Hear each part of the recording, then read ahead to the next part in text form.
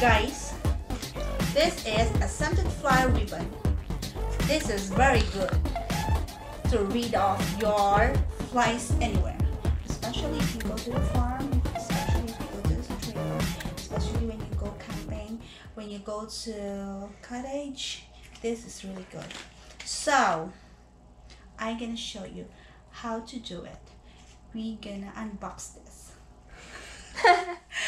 Catch Master Scented Fly Ribbon. So, dalawang flavor ito. Meron siyang natural at meron siyang scented. Ibig sabihin, meron siyang amoy. Diba?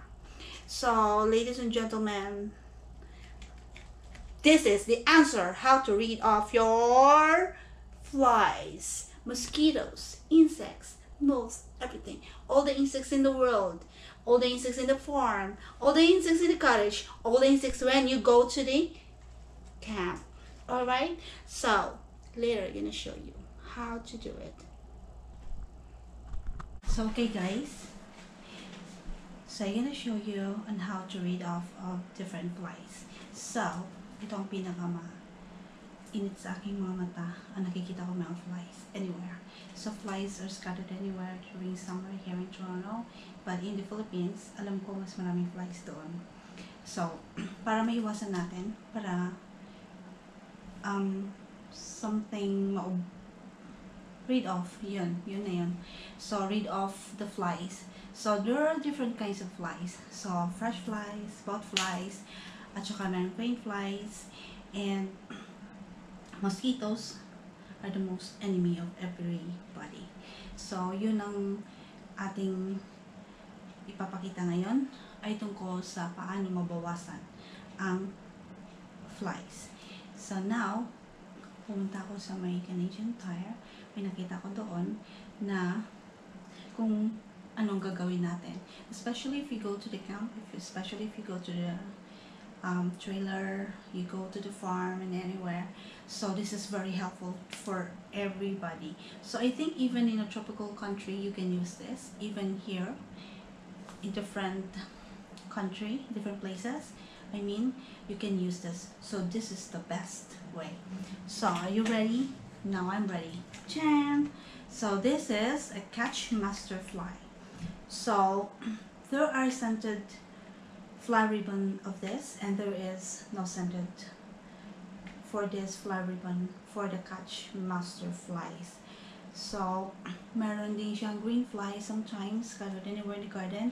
So, this is very helpful. So, sometimes, pag nagbukas kami ng aming pinto, minsan may sumusunod mga flies going in. So, especially kapag uh, nagluluto kayo, so mas maraming mga flies if you go to the farm, you go to camping, there's a lot of flies. So this is the best way on how to rid off some flies. Now, papakita ko. so, one pack is is four pieces. So, one, two, three, four. One, two, three, four. So, there are four. So, ito, ang gagawin mo dito, So, kaya yan siya may string because you're gonna pull it out. So, you have to pull out. And there is also a tampaks ang tawag yan sa atin. So, ito ang ilalagay mo kung saan mo siya gustong isabit. So, especially sa mga kahoy, mas mabilis siya. So, dito mo siya isasabit. Or in front of the door. Or if you go to the farm, or if you go sa mga trailer or sa camp, pwede mo siyang ihang sa mga trees, sa mga branches ng trees. So, ma makakatulong talaga ito. Because, if go there, it's so irritating that you're eating and then there's a lot of flies scattered anywhere. So, ito ang the best way na makakatulong sa atin. So, ito lang siya. Basta tandaan nyo, i-pull it out nyo to. And I'm gonna show you on how. This is the best and I'm gonna show you how it works. So, ito, this is to save for the next na gagamitin namin. So, ang pangalan niya ay Catch Master. I don't know if in some other homewares meron ito. Pero usually, wala siguro. So, kasi doon ko lang ito nakikita talaga kapag pumunta ako ng Canadian Tire. So, ladies and gentlemen, I show you how. Hi guys. So, I'm here right now, still in tiny house. Um, there's a lot of flies actually, are distracting to me. Uh, but anyway, guys. So, we have this uh, um, today. Today is our two nights. No Wi-Fi. Holding myself and everything. And the flies are kept running in my face. Okay, anyway. So I have here the cleaning stuff. And I put a little bit of bleach and a little bit of water. And now we're gonna stay here in a tiny house. In tiny house, before we go and start to go inside, we have to clean first. And I'm gonna show you around. But I want to show you there we fix and arrange all the chairs. And we have the tent.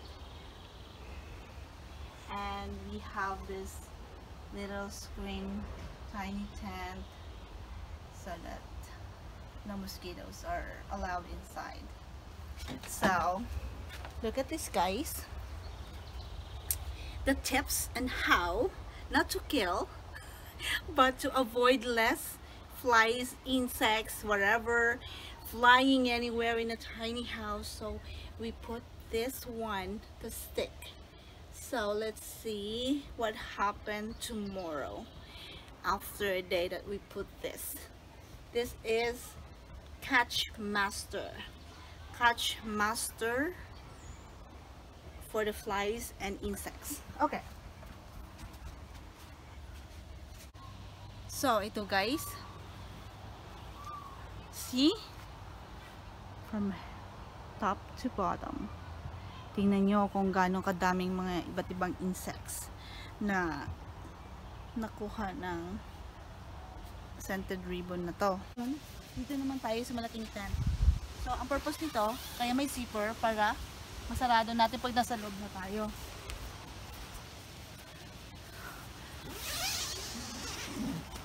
So, ngayon, nilagay namin dito ang Catch Master Scented Fly Ribbon. See? Kahit kasi nasa loob sila o merong net, napapansin nyo, minsan accidentally nakakapasok pa rin sila. So, ito ang magandang tips para mabawasan ang insects. At guys, dahil masarap dito umupo, hindi ka na mababother ng mga mosquitoes and insects, di ba? Magandang tulog mo dito. Fresh na fresh from the farm.